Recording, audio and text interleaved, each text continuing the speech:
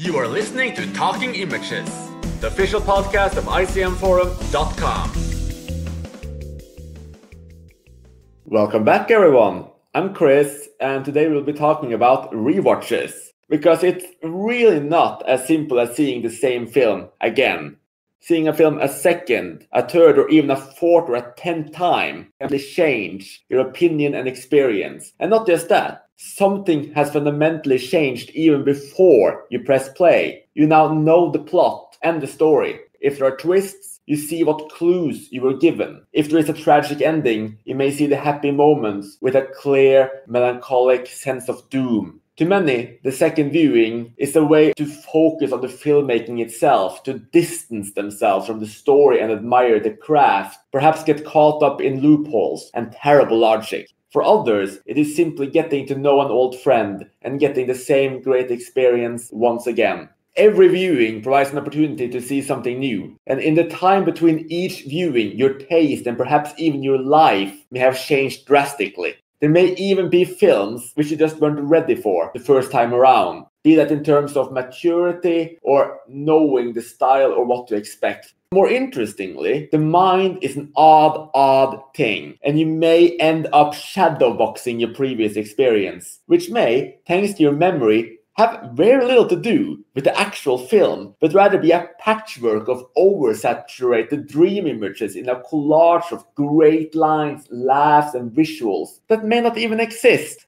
In this episode, we will talk about the rewatches that changed everything for us. Try to get into the core of what the rewatch experience really gives us and talk about our own rewatch habits.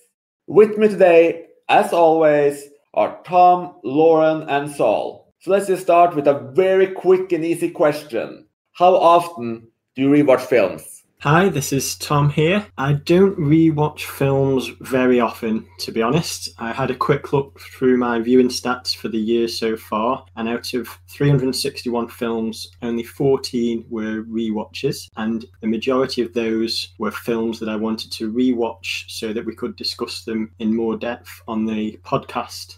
I've got a huge watch list of films, so I would always much prefer to delve into a film that I haven't seen instead of rewatching a film that I know I've enjoyed. I like that Chris mentions the phrase shadowboxing your past memories and experiences because I think he's hit the nail on the head with me there. I'm always concerned that on a rewatch, I'm not going to enjoy a film as much the second time around. This is Lauren. So when I was younger, I used to rewatch films quite a bit. I could rewatch films pretty much all the time. But the last few years, it's been very rare. This year, I've watched 122 films and only three of them were rewatches. But some years they've been close to 80. But like Tom, I prefer to experience a new film and a new experience rather than revisiting an old one. Although I do think that I should rewatch more. Hi, it's Sol from Australia. In terms of rewatching, I've rewatched 48 films this year, which might seem a lot, but that's out of 897 in total so far. So it's only around 5% of what I'm watching is stuff that I've seen before. Like Tom, a number of my rewatches this year have been due to the podcast. They've also been due to the challenges and other things going on on the ICM forum. Going back a few years ago, before I joined iCheck Movies, I was rewatching 100 to 200 films each year. Since joining, that's gone down to between 40 to 80, which I think is a good number, but I do think that I owe it to myself to be rewatching more films more often. I think I'm more or less in the same box as Sol at present, though, with a completely different uh, trajectory. So I, I, never actually counted how many films I rewatch every year. For reasons not related to this episode, I somehow made a list this year and I'm up to 24, which I think is also about 5% of what I've uh, seen this year. However,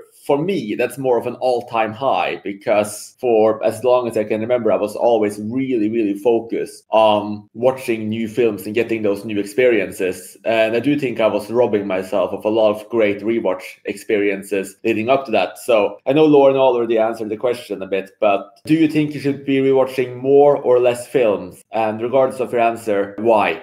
I think that I should probably be rewatching more films. As you mentioned, Chris, there's a lot of films that you may watch early on in your life where you're quite not ready for them yet. For whatever reason, you're not mature enough to appreciate the artistry behind them, or they don't resonate with you because they reflect on experiences that are unknown to you at that stage in your life. So when I was working through the classics when I was younger, there was quite a few films that I dismissed because they didn't resonate with me. But I imagine if I revisited them now, they may grow on me. But because I'm not sure, that's why I'm kind of tentative about rewatching them because I'd rather take a punt on an unknown film than revisiting something where it may be a better experience, but I'm not quite sure about it yet think I should be watching more for the same sort of reasons, except my taste in films seems to stay mostly the same, but then I just have random changes that happen. And a few years ago, I did start a rewatch project where I was going to rewatch all my favorite films to see if they were still my favorite films. But then a whole bunch of stuff changed, and now my taste in films has changed again, so I have to restart all that. Um, I just haven't got around to it yet. But I think depending on my mood and things that have happened,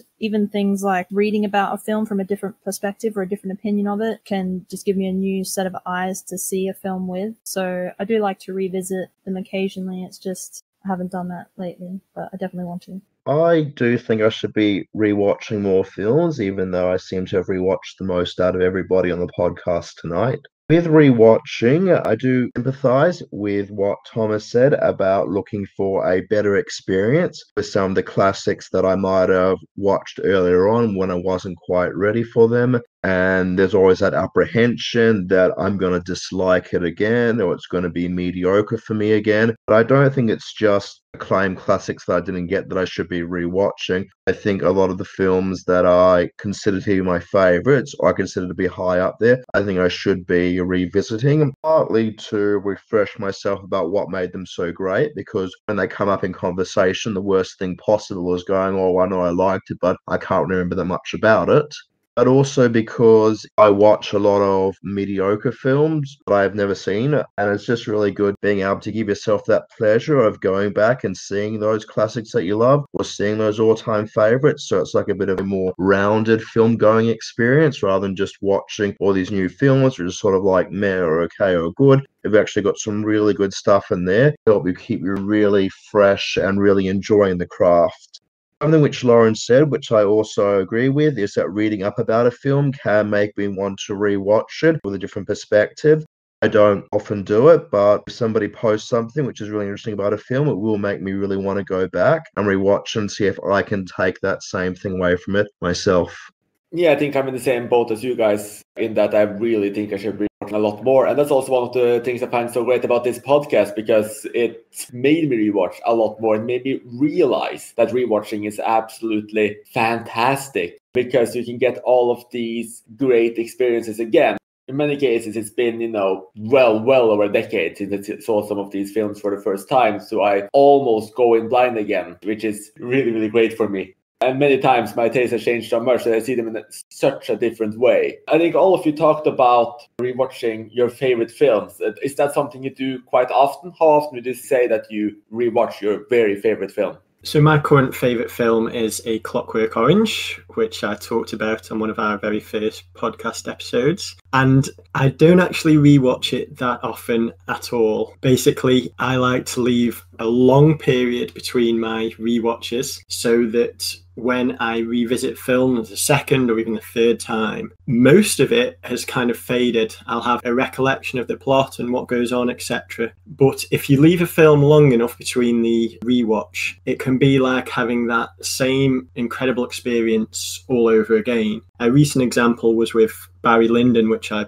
perhaps watched about 10 years ago in the cinema and it's been sitting on my shelf for about six or seven years on the Blu-ray and I dug it out and watched it a few months back and whilst I remembered most of what happened in the plot a lot of it was completely fresh and new to me as if I was watching it for the first time and getting that incredible experience for a second time is something that I really relish and that is perhaps another reason why I don't like to rewatch favourites of mine too often. I also like to leave a big gap between my watches because I like them to fade as much as possible before I go back. My favorite film is One Flew Over the Cuckoo's Nest, but I don't have like a set, oh, it's been two years, I might as well rewatch it now. It's just if I feel like watching it, I'll watch it. I think I've only watched that six times in the last 15 years, but that seems to work for me. And once it's faded enough that I start thinking about it again, I'll probably revisit it. Tom and Lauren have brought up some very good points about trying to let your favorites fade a bit in your mind. But in terms of what I actually go for, I've found with Videodrome, which is my current number one, I've been watching that on a yearly basis for the last few years. Scream, which is also my top five, I've been watching it once a year every year. For most of my top favorites, though, I'd say maybe once every one to two years, which isn't a very long time. They often fade. But with something which is really complex like Solaris, that was really good, even though I'd only seen it maybe 18 months beforehand. I'd already forgotten some of the details because it's a very dense film. There's a lot going in on there. There's some shots that I completely didn't remember at all. So I do think it is good to sometimes with some films give them a little bit longer. But with films where there's lots going on there, I feel I can watch them quite regularly and still get a lot out of it. Also, knowing something like Videodrome or the Scream quadrilogy quite well, it's often actually fun to go back and rewatch it. It's got to the point where I know a lot of the dialogue near verbatim in the Scream movies, but I still absolutely love it because of how well it's constructed, how great the character interactions are, which I know doesn't really quite give a straight answer, and I guess I can't give a straight answer. Some films, yeah, I'd like to a little bit longer, but other films I find that I can just keep watching them again and again and still get a lot out of them.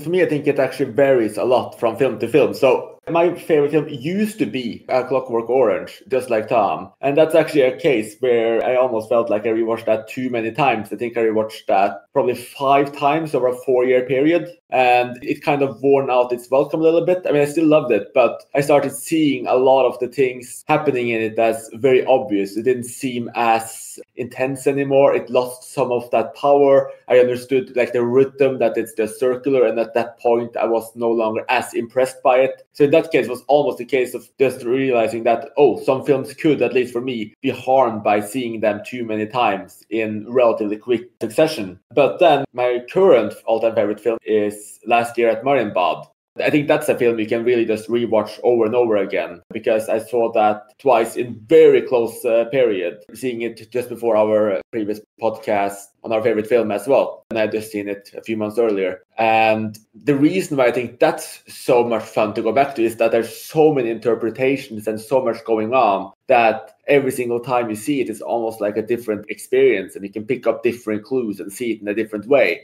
So some films just really benefit, like Sol said, from seeing them many, many times in quick succession. Do you think it's possible to rewatch a film too many times? Do all films get hurt if you rewatch them too many times? Or are there films you can just rewatch over and over again and still just get that exact same thrill? I feel like it is possible to rewatch a film too many times. As you said, Chris, your appreciation for A Clockwork Orange started to gradually fade a bit after you had revisited it so many times. And that is something that is always a concern when I'm rewatching a film. On the flip side of that, though, I do feel that there are some films that benefit from frequent viewings. I don't rewatch these films so much now, but perhaps in my late teens, early 20s, I'd be watching a lot of comedies, things like Anchorman, then the American Pie films. And it's kind of like almost a comfort food. You watch them with your friends and you get to learn all the lines and you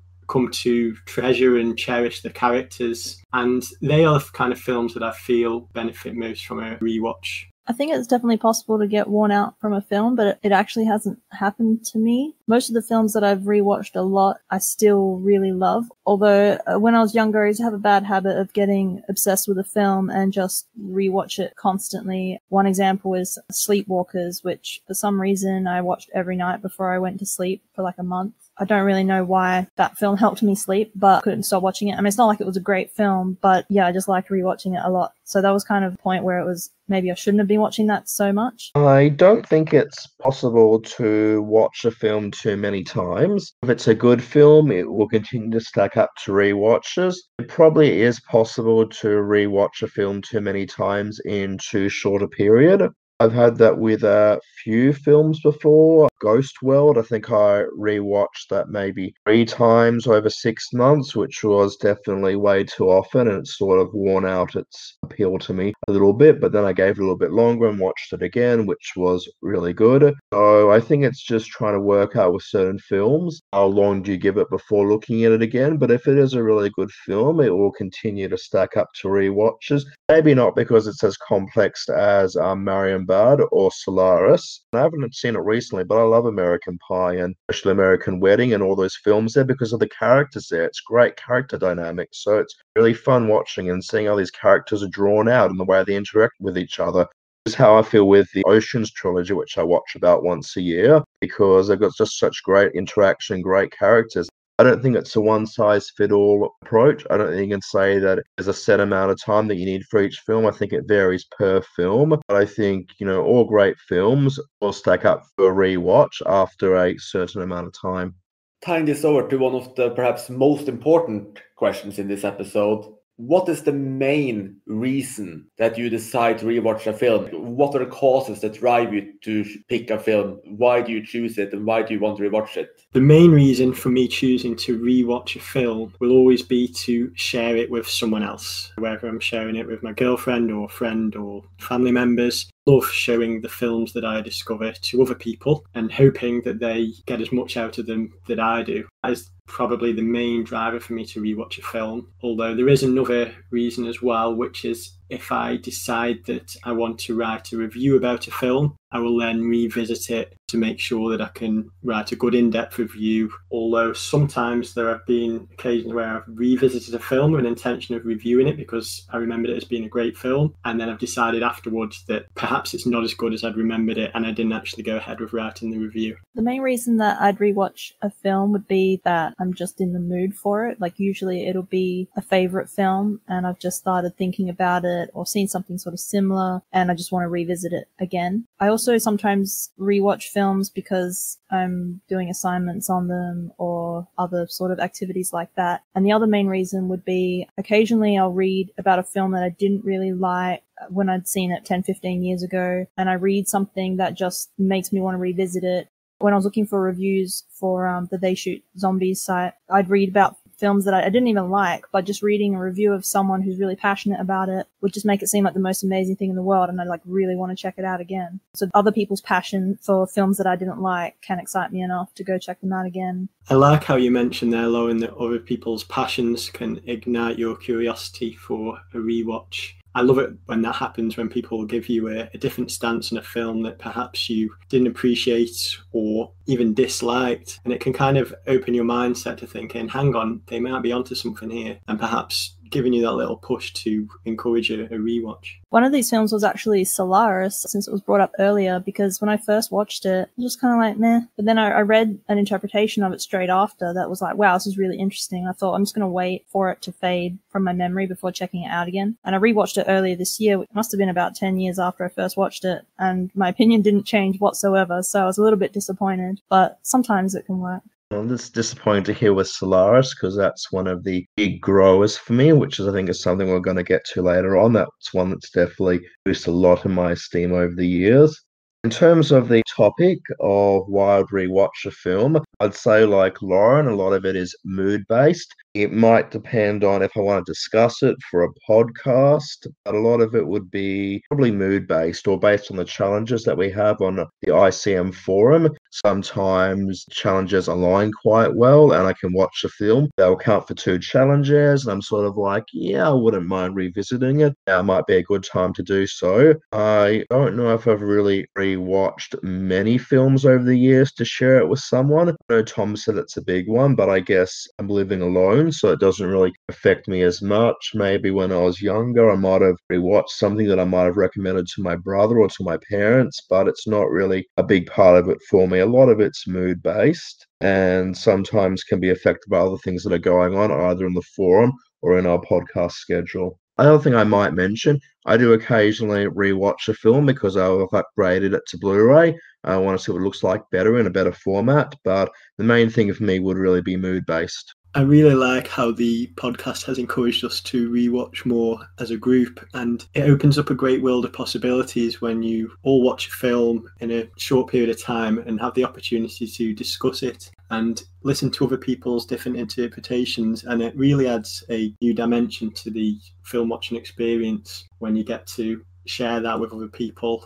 I also have to say that I love the social element in all of here. That's just such a wonderful way to share the love of cinema. But in your personal preferences, do you prefer rewatching your own favorites or rewatching films that you feel you misjudged? I think that I would always favour rewatching my old favourites over a film that I may have misjudged because I know with old favourites that I'm going to have a good time. But when it's a film I may have misjudged, there's that kind of grey area where, okay, it's meant to be an excellent film. It didn't resonate with me the first time round. It might still not the second time. So I'm always a bit hesitant because when I pick a film, it is because I want to get some enjoyment out of it. Watching films is a relaxing hobby for me and I always want to enjoy my experiences, so I'll try and plump for a film that I know I'm going to enjoy when I'm choosing a rewatch. I'll definitely choose an old favorite over something that I think I misjudged. Although I like revisiting both of those, the same reason as that, as Tom said,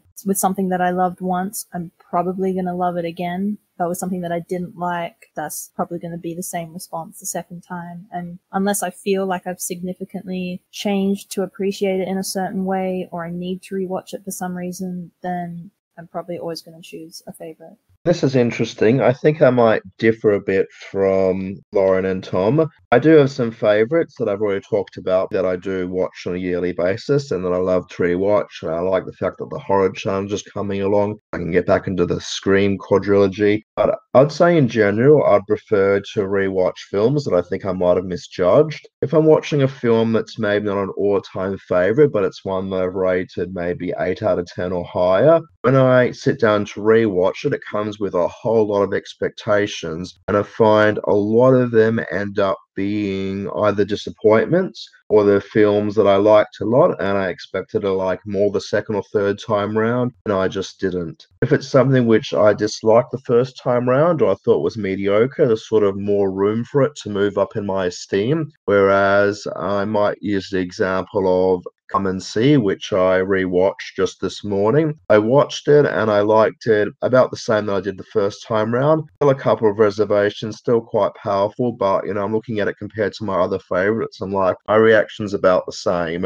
And then I've got something like Stalker, which I also rewatched this week, which was a bit of a disappointment. And again, a film that I rated quite highly up it's much more exciting for me if I'm watching something which I gave maybe only a four or five or six out of 10 to because I've got all these possibilities for it to climb up higher. The sky's the limit. Whereas if it's something I rated really highly, there's a greater chance of going backwards in my esteem. I actually feel exactly the same way, Sol.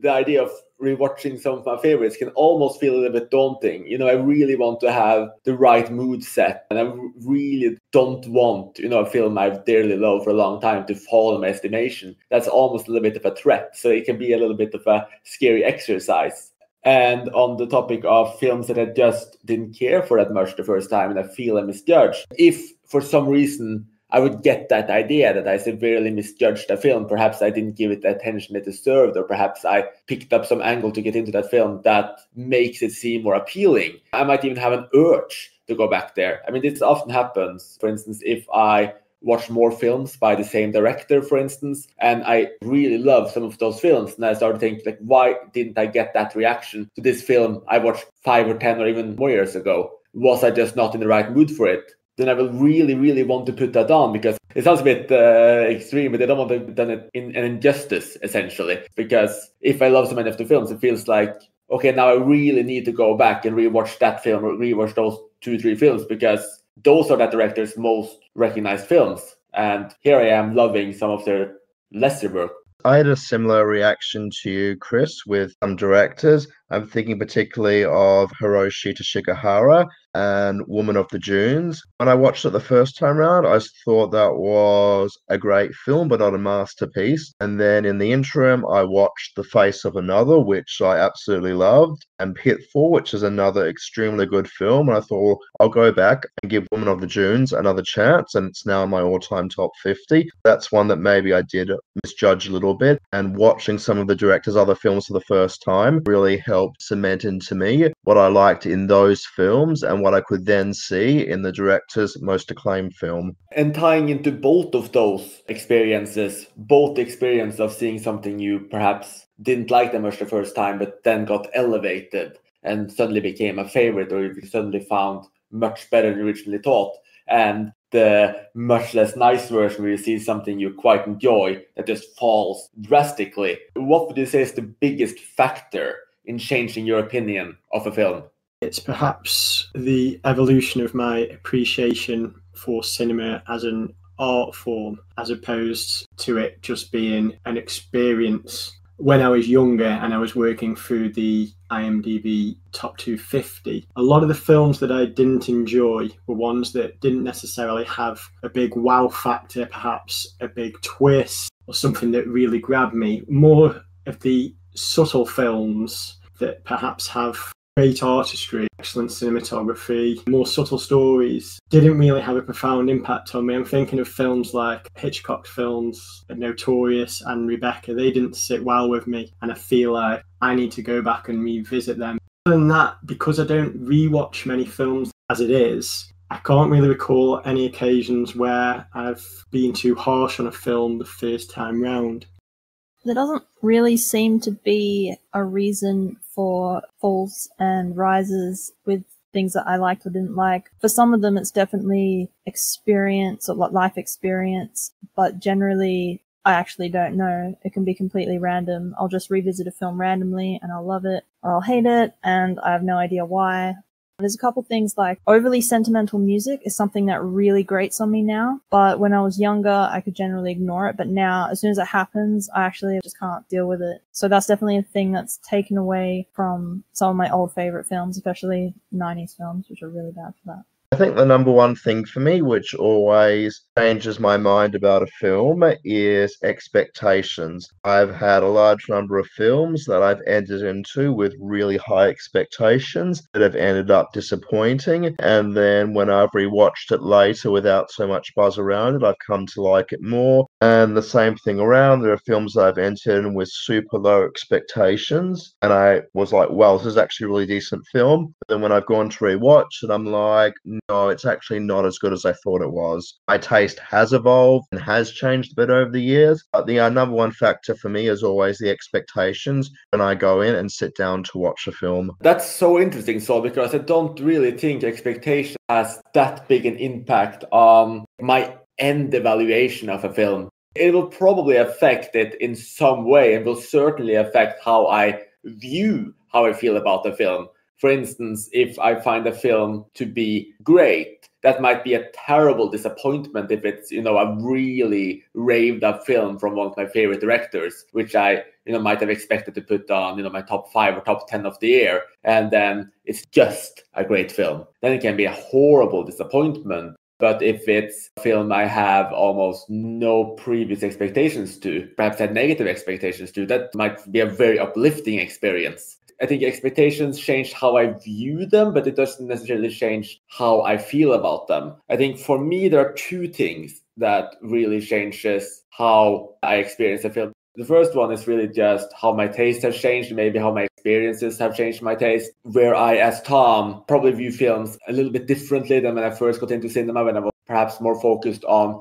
you know, simply the craft or simply the story. And now I might be looking at things a lot more in terms of the art of it. And second would be just how familiar I am with the material. So obviously something really, really impressed me early on simply cannot impress me as much today because, you know, I've seen 10, 20, 30, 40 plus films, maybe hundreds of films doing very similar things. So they won't be as striking. And lastly, and this is also one of the main reasons why I will go to rewatch a film, is if I somehow have gotten a better sense of what a film is trying to do. Because I think that it helps to have a certain degree of knowledge or understanding, even just as a visual reaction to how you're meant to engage with that film. Just to give a quick example of this, it's a bit like how if you watch a horror movie or a comedy, you have very different expectations to how you're going to enjoy and experience that film, and you'll be watching them a little bit differently. You'll be reacting to dialogues and performances a little bit differently. But I think a lot of films, especially a lot more artistic films, aren't as familiar. You don't know the rule book already. Usually, this is a very natural thing, which I talked about earlier, in that you know I see more by the same director, and suddenly there might be just this one thing that clicked. To give a very specific example, I only used to love very specific Eric Rohmer films. But after seeing several of them, including some rewatches, I suddenly started getting his humor. And when I was also reading more about them uh, and seeing how, for instance, he used to make every single film as an antithesis, essentially pick out something he believed in and then try to find the best argument against it and do these films as you know, debate. That was another great entryway. And suddenly I was seeing these films in a very different light. So I had both the more visual entryway into this work where I, you know, was enjoying his humor more because I was understanding it. I was seeing it a very specific way. And then I also had this additional knowledge which I could bring to it and which made the films come alive in a way they hadn't before. This also made me rewatch several of his films, and we got the great two-part podcast on his communism proverb cycle as well. So I really think that is finding that entryway, understanding a little bit more what someone is going for, can really, really change how you experience a film. I mostly disagree with that, but I do have one example was when I first watched Borat, I thought it was all scripted. And so I was just kind of like, eh. But then I found out that it was actually real reactions. And then it was really funny because it was completely different knowing that it was real. But generally, things like artistic understanding of the director or whatever, I like don't care about the director at all. And I don't really feel that consistency within any work from any director. So that kind of stuff doesn't really affect me. Neither does expectation really. But I do agree that sometimes knowing something about the film or what it's trying to do on a rewatch can change your opinion of the film. I think a film can sometimes be enhanced by knowing a bit more about it. One I could use from my own life is Forrest Gump. When I first watched it, I didn't realize how much of it was archive footage that uh, Tom Hanks had been spliced into. But of course, rewatching it slightly older and realizing all that, it actually makes you realize how clever a lot of it was. This is a very interesting topic, and one film I'd like to bring up is The Cabin in the Woods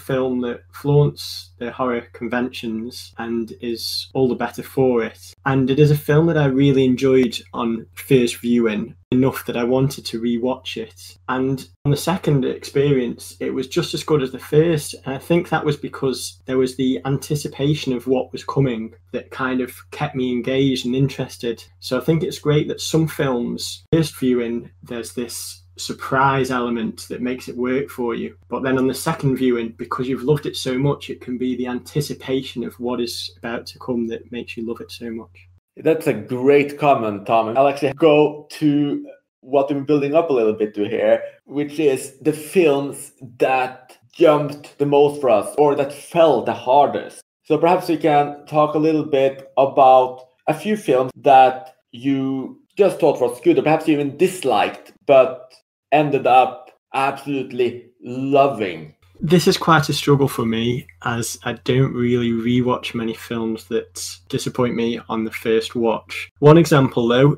is Stalker, which, although I didn't think was a great film on second viewing, I appreciate it far more than the first time I watched it. The first time I watched it was when I was working through the IMDb Top 250, I was quite young at that time, and I think a lot of it went over my head. There's a lot of philosophical conversations, and frankly, I was quite bored of it. The second time round, it didn't blow me away, but I could appreciate the philosophical angle a lot more, and also the colour schemes and the kind of beauty and wonder of the film. It will never be a personal favourite, but that rewatch did make me appreciate it a bit more. And I need to add as well the uh, driving force behind the rewatch of Stalker was because I read the novel. The film actually followed the story of the novel very closely, but it was through reading it and getting a grasp of the author's ideas that made me want to rewatch it and improve my appreciation of the film.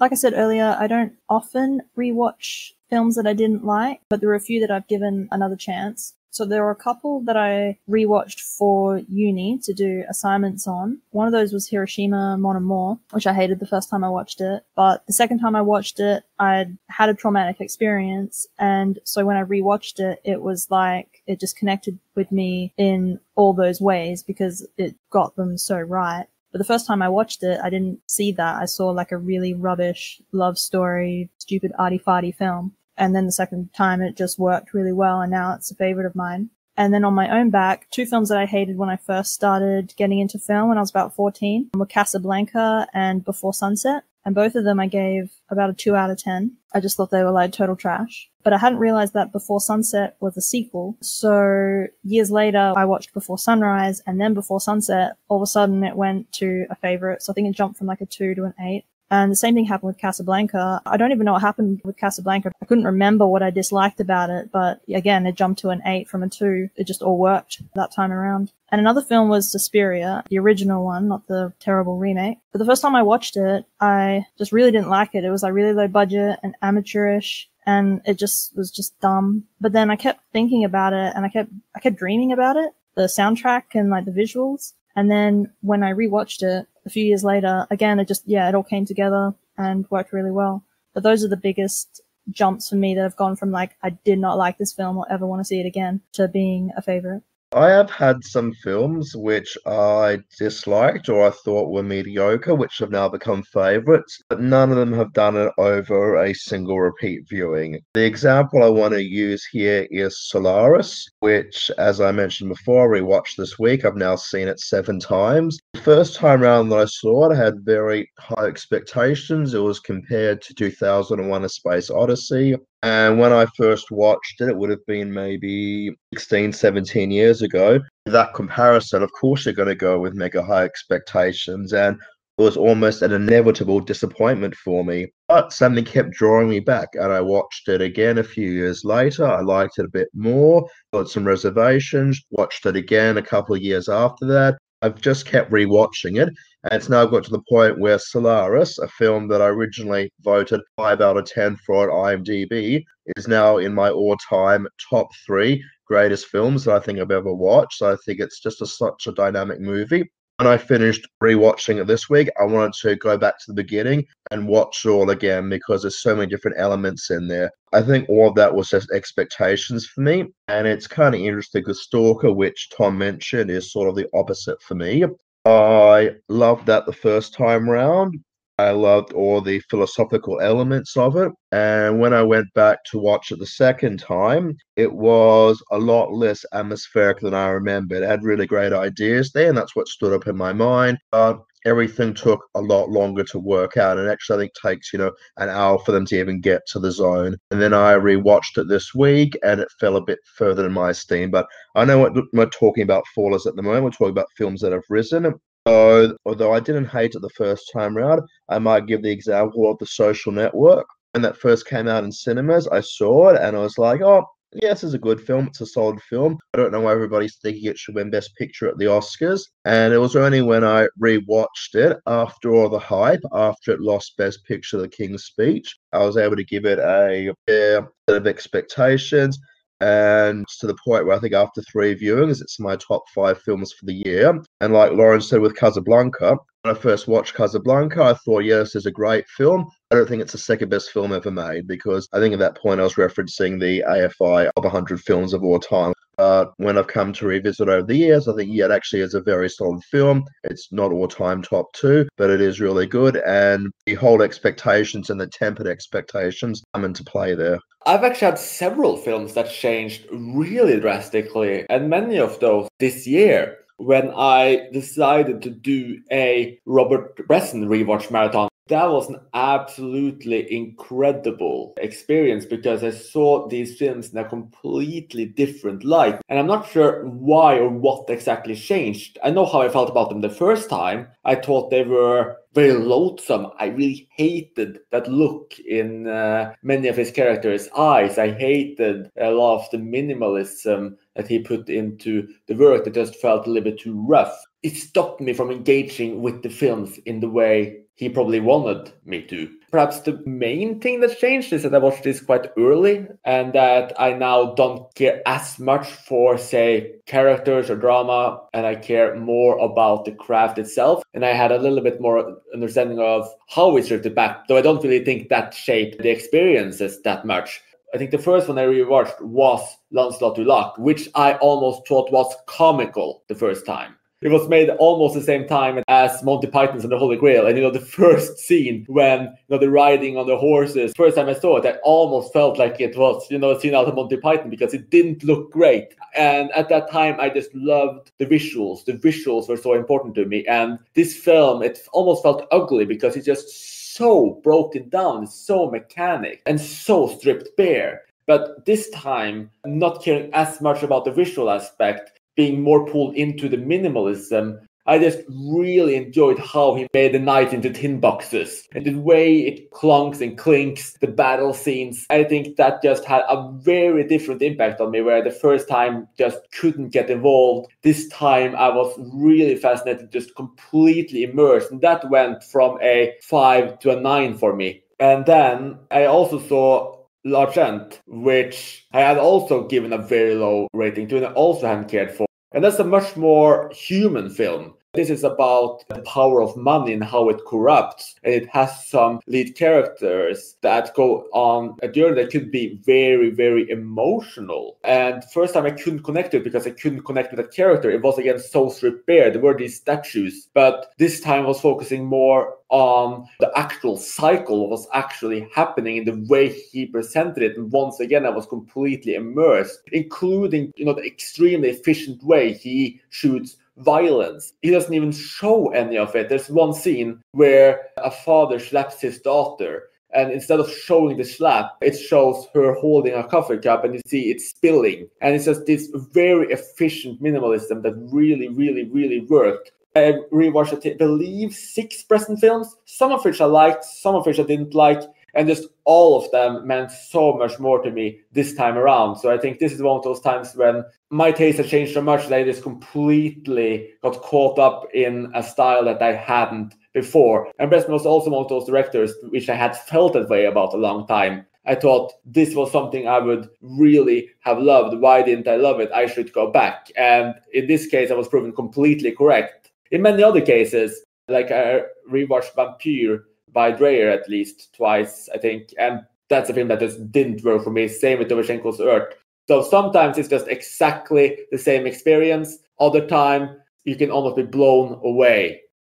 So we've all built up a lot of positive uh, vibes here. So let's just destroy all of that positive energy and focus on the tragedy of losing a loved one. Do we all have those films that we loved but rewatched and ended up falling from grace, falling in their estimation, and leaving us mourning their loss. I haven't had an occasion where there's a film that I've loved that's completely fallen from grace. The most obvious one of these for me would be Wait Until Dark. I absolutely loved it on first view, and it's such a tense film. But on repeat viewing, I was able to take myself out of it and kind of think about the logic behind it and the plot holes in the film. I remember reading one review online saying that the plot holes are big enough that Audrey Hepburn's blind character could probably see them. And I think that's brilliant. And it is a shame that the film didn't hold up as well on peak view and I still enjoy it for what it is. It's a very tense experience, but going back to it made me realise that there are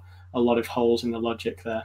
And just to clarify, it was a 9 out of 10 originally, and I think on repeat viewing it went down to a 7 out of 10. Yeah, I've had a few favourites not quite live up to the same amount of love, but only drop a little bit. There's only been maybe two favourites that dropped completely out of that. The first one was Amelie, which I first watched when I think I was 15 and I gave it like a 10 out of 10. But I rewatched it a few years ago and I barely liked it. It was just gross. And that's now a 5 out of 10. And that's me being really generous. And the other one is The Graduate, which was another 10 out of 10 that I gave when I was about 14, 15. But every time I rewatch it, it's just less and less funny to the point that now it's just really dumb and boring. And that one's sort of barely a six. Those are probably the only two top, top favorites that I don't want to go near again, I'm pretty sure. In terms of films that I've dropped in my esteem, I think the biggest one is probably Chariots of Fire. When I first watched Chariots of Fire, I had very low expectations. I kept reading about it being one of the weakest Best Picture winners ever and you know that it should have never won. You know, Reds by Warren Beatty should have won instead, and all that stuff going on. So I entered into it expecting it to be a very lousy film. I was impressed with how generally well done it was technically, how well acted it was, and I found it really involving. Of course, you've got the very iconic music score for the running, Anyway, I went back a number of years afterwards and I rewatched it, and I could not even believe what I saw it the first time around. I thought, wow, a lot of this is just really cheap melodrama. You've got a couple of really poorly developed love interests for the main characters, and I just couldn't get my head around how much I liked it the first time around. When I went in to watch it the second time, it was number one in my list of films from 1981 after watching it, I completely fell out of my top 10 films from 1981. So that would have been the biggest drop for me. So I don't actually have a drop that went from a favorite to a dislike or to a middling film, but they have had one drop in particular that went from being one of my very favorite films, potentially a candidate for, you know, my top 25 of all time, which just got utterly decimated to the point that you know it's not even in my top 10 20 or 30 of the year it was released in. And that is unfortunately Solaris. And even worse it was a cinema view. Now i don't want to put all that down to the film itself because the first five minutes or so was projected without sound. So it, it was already a bad start but this is one of those cases where a lot of the things i just completely loved the first time disappeared from me one of the things I was really fascinated by, I know is a common critique, is the car scene where it slowly fades from color to black and white as the car drives in you know this futuristic city, which is really just, if I recall correctly, Tokyo. The first time I was really immersed in it, I was really caught up in just the movement and just general impression. The second time, I think I just went, yeah, this is just a regular city. And the magic was completely gone for me. It was more or less a demystification.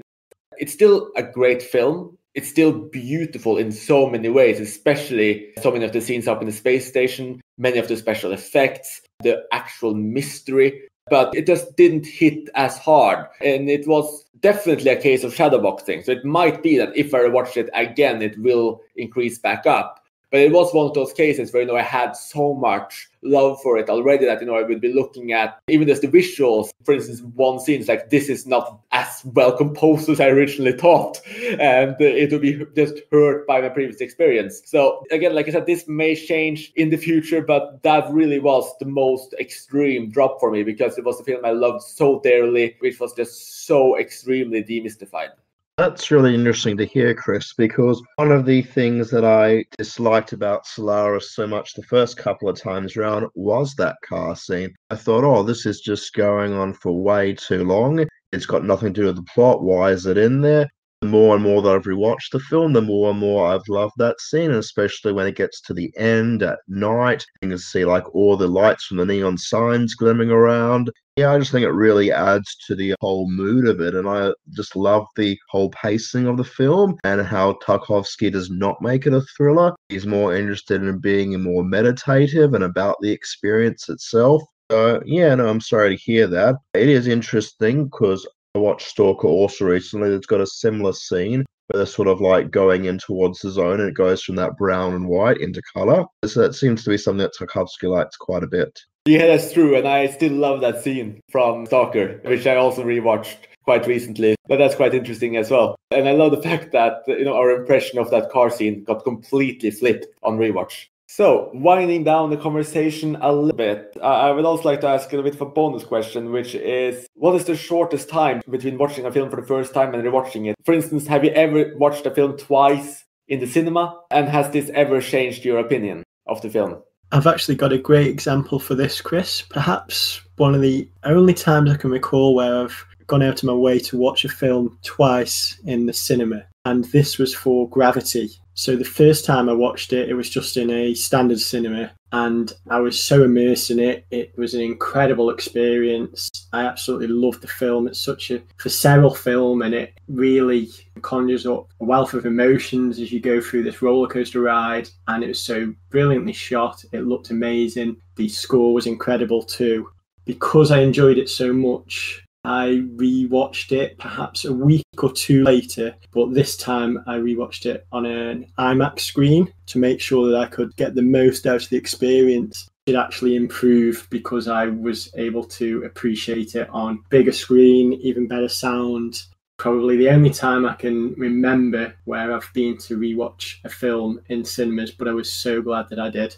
I did see a couple films multiple times at the cinema. First one was Secret Window because I just really enjoyed it. I was 13 at the time and I went back a couple days later to watch it again. I also saw Stalled three times in the cinema, but that was over a period of a few months. And I saw it at Fright Fest, then Monster Fest, and then I went to a Q&A where I got the hat from the film. But the actual shortest time I've gone between rewatching a film, if this counts, is I watched From Dusk Till Dawn with the commentary and it excited me so much that I immediately then watched the film. I mean, it's my favorite horror film of all time. But yeah, the commentary just like got me going. I just had to rewatch it instantly.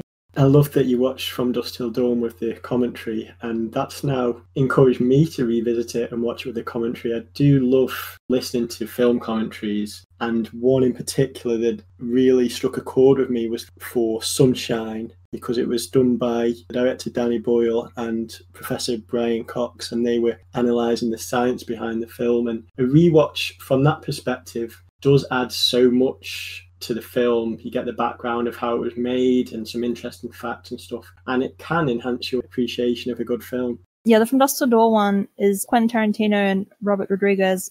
They're just very good conversationalists and they're very exciting to listen to, especially Tarantino. There's a few, yeah, little behind the scenes tidbits and things like that, but just listening to Tarantino talk about his filmmaking decisions or writing decisions is enough to get me excited over that.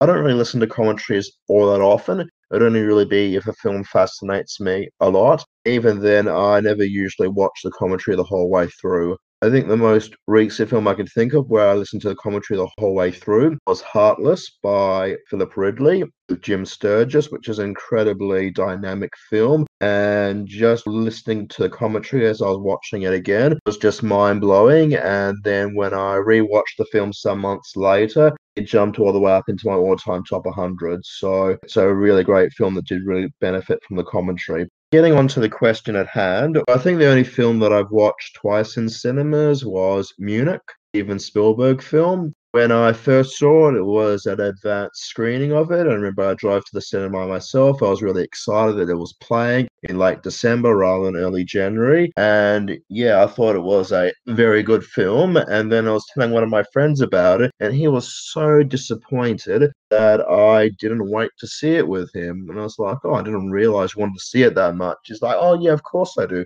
I ended up seeing it again with him, which actually was really good. I did get more out of it, and I do think it is one of Spielberg's most dynamic films. Incredibly good music by John Williams and very different sort of music score. Other than Munich, I don't think I've seen any films twice in cinema. There are some where I've had maybe two months in between. Like I saw the uh, triplets of Belleville, Bellevue, I pronounce that. Hi, it seems someone called the French pronunciation police so I'm here to tell you that it's pronounced the triplets of Belleville. Thank you for your time. I saw the uh, triplets of Belleville in cinema, and then I saw it a couple months later on DVD because it actually got released on DVD fairly similar time to when it came out in cinemas. And that was actually one where I actually wanted to show that off to other people and say, "Oh, what a great film this is." But yeah, generally, I would usually give it a year between films. I wouldn't usually watch it with only like a month or a few weeks in between when uh, Tom was talking about being dragged back to gravity, I, I came to remember The Phantom Menace, which both viewings were not my choice. Some friends of mine wanted to have a Star Wars marathon, and uh, I re- rewatched it. And then, very briefly after, I don't remember, I think it might have been a month or two or three, to be fair, but The Phantom Menace was released in 3D for the very first time. And a lot of my friends really want to go. It was also going to be a social outing, so went as well. And The Phantom Menace is obviously the worst Star Wars film. Uh, and it's not a particularly good film either. But I, I got to see that first on the small screen and then on the big screen in 3D. And by the way, I'm not a big fan of 3D. The things you do for friends, I suppose. A much more pleasant one, uh, which was when I was much younger, I think I was a teenager, was that I rewatched Reservoir Dogs twice in a row. First on the TV by myself, and then when it was shown the next day with my father, which was a great experience because, unlike Phantom Menace, I quite like Reservoir Dogs. But there was one just a couple of months ago, actually, where it was my specific choice. It was not triggered by any kind of social events, and they were literally back to back. And this is one of those rare cases where I instantly felt that I had missed something about the film, which was the Lucian Pintilie film, Why Are the Bells Ringing Mitica, uh, also known as Carnival Scenes.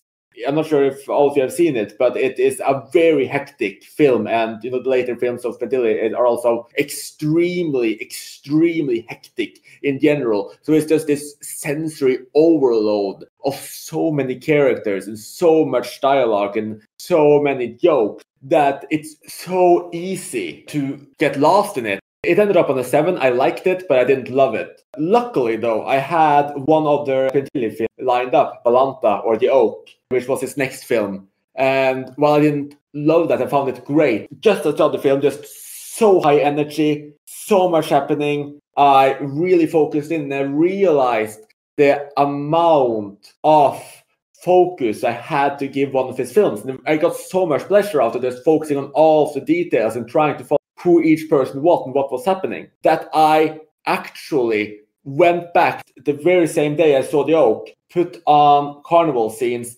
absolutely loved it. It's just such, like I said earlier, high energy film, but it's just when I actually absorbed it, when I could actually give it my full attention. And by the way, I was still struggling a little bit to realize who every single one of this endless character gallery was. It was so fascinating and funny, and it's just such a big film with so much happening. It, it's really just one of those things you just cannot take your eyes away from because if you take your eyes away from it for just like a couple of seconds, something might be lost. So I think that was the big one. That's one where it actually changed completely for me again because it went from a seven to a nine and became my favorite. So that was a very lucky rewatch.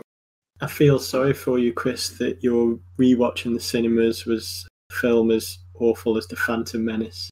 I can remember when I saw it in the cinemas and was massively disappointed, being a huge fan of the original trilogy. And I can't imagine what it must have been like being forced into watching it twice. well, luckily it's uh, it's over and it's many years ago now. So to take us to our very last question, but also one we've saved for you because this really is perhaps the most poignant question in this conversation. What are the key differences between rewatching a film and seeing it for the very first time? When I'm watching a film for the first time, I find it very easy to get lost in the moment, particularly if it's a film that I'm enjoying. I'll just sit back and be immersed in this world that the film director, everyone involved, created. And absolutely love that feeling, but sometimes it can make me overlook aspects of the film that are perhaps lacking in certain areas. Now, when I rewatch a film because I know what's going to happen, I tend to spend more time analysing the film, perhaps looking at any foreshadowing that's in there, and also analysing the hints at perhaps if there's a twist in the plot, hints at that, or any clues that are left there in the script and, and dialogue. And just seeing how clever and how thoughtful a director and the scriptwriter have been in preparing their film whether it all ties together nicely. So this means that I can sometimes appreciate the subtle nuances on a second viewing, perhaps in the performances, the camera work, or other aspects of the filmmaking. But you can also come to realise that aspects of the film aren't particularly remarkable on a second viewing. And that is perhaps one of the key reasons for me and why I don't want to rewatch a film because there is a tendency for me to overanalyze it, pick holes in it, and not enjoy it as much as I did the first time round.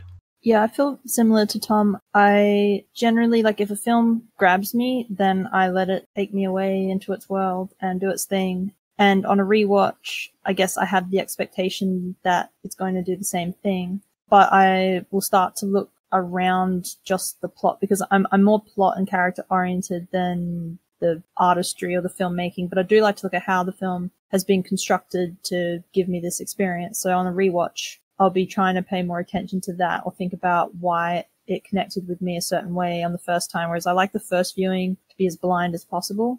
Generally, I know just a one to two sentence plot summary and maybe the genre, and that's about all I like to know. But on a second viewing, I go in with maybe I've read other reviews, I've read other interpretations, I've thought about the film myself. So it comes loaded with all this other stuff, and I can't go into it quite as blind. But I still feel that generally I won't pick up on the flaws for a film that I love until it's been a few re-watches. Like I usually won't pick it up on the second time. It's usually the third time. That's when the like little niggly things will start to be like really annoying. Like jokes that weren't very funny the first time. On the third time, they'll actually hurt me. And if, yeah, there's that annoying sentimental music by the third viewing, I'll have had enough of it. Yeah, that's the biggest difference for me. I think a lot of it depends on the type of film and how long you've left between viewings as to how watching it for a second time affects you. I am now in the position where I can watch films that I haven't seen for 17 or 18 years. They could be acclaimed classics. It would be like Revisit a Faded Dream or like Faded Memories of the Past. It can be nice in that sort of way. If it is a favorite or if it is something that I've seen more recently, then a lot of it's going back and trying to find the different clues that connect things up together. Especially if it's a mystery film or it's looking for like all the small subtle details. A great one is in Scream 2. There's a sign in the dormitory which Craven sort of cuts off, and it's going to say no eating in the living room. The way that it's cut off, it says no living. There's a lot of really fun, really small techniques like that, which with all time favorites you do pick up on with subsequent viewings. But I think with other films, we have left it a bit of a while before going back. It's like trying to like revisit that great dream that you've had and you've forgotten and try to like fill in all those blanks once again. Yeah, I think you're completely right there, Sol, in that how long it's been since you watched it and how much you remember from it changes everything. Because if it is a film you love, you will be shadowboxing that. And like with me and Solaris, that will haunt that film. But there are films I rewatched where I've completely forgotten who the killer is, how it ends, who ends up alive, or any kind of massive plot elements. And sometimes that's great. Like I, I remember rewatching a couple of Godard movies for uh, one of our previous podcasts now, and I liked that essentially all of them exactly the same as the first time, but I had forgotten almost everything about them. So I think it's really interesting how that works. So sometimes you're shadowboxing, sometimes you're having almost a first time viewing experience again. Oh, oh, and one more thing, and this will annoy Tom a little bit because he's the film purist. But on rewatches, I actually become a film purist. On first time viewings, I won't necessarily see them in one viewing. My attention may be elsewhere, and it's quite likely I won't have try to you know facilitate the cinema experience. But if i take the time to actually rewatch a film i will make sure that there's no distraction that i get to see it in one viewing and that all of my focus is on that film. So that has nothing to do with the real question of what fundamentally changes with the film itself but it's certainly a massive change in how i view that film I think I'm kind of the opposite. I think I'm more likely to multitask and not properly focus on a film second time round or the third time round if I've already seen it and I sort of know what's going to happen. Whereas the first time round, I sort of don't know what the more talky bits of it are. So I don't know when would be a good time to pause it. I don't know when would be a good time to eat a meal while watching it. Whereas if I've seen the film before, I sort of have more of an idea about the parts of it where I might not need to pay as much attention. Yeah, I'm the same. The, the first viewing is like 100% focus, and then a rewatch, especially if, it, if it's just, you know, having a good time with a favorite, my purism goes down a little bit. And I might just say that misremembering a film is one of my favorite parts of it because that's the closest you get to being able to experience it again for the first time. If you've confused it with another film, if memories have blurred together, if you can't remember who the killer is, you can remember, but you can't remember how exactly it all played out. That's the closest you actually get to having that pure experience again. So I love it when I misremember a film. Unfortunately, my memory is a little bit too good for that to happen that often at this point in my life. That actually made me think of a bit of an interesting question. Have you ever misremembered a film in the sense that you think someone else, for instance, is the killer, or that you know you completely transplanted a plot element from another movie so that you're suddenly shocked. It's essentially not just the first time viewing, but it's a complete inversion of all of your expectation. I don't think that's happened to me, but that would be such a great, great experience. I don't think that's happened to me, but that again would be an excellent experience. One thing that uh, your conversation is reminding me of, though, is there was a time, maybe about 10 years or so ago, when I watched The Last Circus, and I was incredibly drunk at the time that I watched it. So much so that I basically forgot everything that happened in the second part of the film. I woke up the next day thinking that I really, really enjoyed the film, but I couldn't for the life of me remember what had happened. So I did actually watch it the next day, and luckily I enjoyed it as much the second time. But that's quite a rare occasion for me. I just thought it was worth mentioning. I've never really misremembered any important parts of the film, but I did just remember that I watched The Abyss when I was a kid, and I could have sworn that there were anglerfish in that film. And I rewatched it specifically because I wanted to see the anglerfish again. And they weren't in there. And I don't know where I got that from. So I don't know if I made that up or I dreamt it or it was in another film, but I've never been able to find these damn anglerfish. So that made me pretty sad. I've had some interesting things with misremembering because of director's cuts. I've had it with Terminator 2. the first time I ever saw it was the uh, James Cameron, you know, final cut of it, whatever he wants to call it. And then I remember rewatching it, and you suddenly don't have the parts about Terminator being a good father and all these other things. And I'm like, oh, did I misremember that? Was it there? And then I watched it, I think, on a DVD release afterwards, and suddenly the stuff was back in there. And I realized that I saw an alternate cut of the film can't think of a specific time when I have misremembered who the killer is. Sometimes I've misremembered certain parts, like in North by Northwest. I didn't quite remember all the twists and turns in there. With Death on the Nile, which I rewatched recently, I remembered who the killer was, but I couldn't quite remember why or how and how all the different parts and bits and pieces fitted together. So it was just lovely seeing that play out again, even though I knew who the killer was that time. Yeah, it really is one of the best things about rewatching when you've forgotten. Really get that experience one more time of trying to figure everything out. And it's also interesting if you remember one or two key scenes and then you're trying to figure out how they fit in and how they got there you would most likely not have a single clue. I'm not one of those people who get really focused on the story, at least anymore. I think I've distanced myself a little bit from that. So even on the first time viewing, I might pick up some of those errors. But obviously, the more time you see a film, the more focused you become on all those things, and the more glitches and errors, anything else that might be bothersome will come up. And that is obviously quite frustrating as well. Though, though to me, it is also a fascinating question of the rewatch where you do see a film for the second time, but at the same time, it is the very first time, that is the, your first rewatch, that you see that film knowing what will happen, you know, unless you've actually forgotten it, like we talked about. But there's this idea that this is the very first time you can actually piece together everything in the puzzle and see if there are clues or see how everything moves towards the ending you know. I think that's a really fascinating idea of that very, very first rewatch. I guess if you wanted to be philosophical, every viewing of a film is a first time viewing because you're never able to mimic or completely replicate the conditions that you watch the film in to begin off with. That could be whether you're seeing in the cinema versus DVD, whether you're seeing it knowing what happened beforehand or not knowing what happened beforehand. It's always going to be a completely different experience, and everything that's happened to you in the meantime will shape the way that you perceive it. And the best example that I could think of for that in a film is in 12 Monkeys where Bruce Willis and Madeleine Stowe go into the cinema and they rewatch Vertigo and they comment that it's the same film, but you know, it seems different. The film hasn't changed, it's a static object. But everything that's happened to us in the meantime, everything that we know going into it, automatically changes our perceptions. And with that beautifully poetic note, I think our episode on rewatches has come to the end. Thank you for listening, and I hope you will re listen to this episode again and again and again and join us again and again and again. You have been listening to Talking Images, the official podcast of ICMForum.com.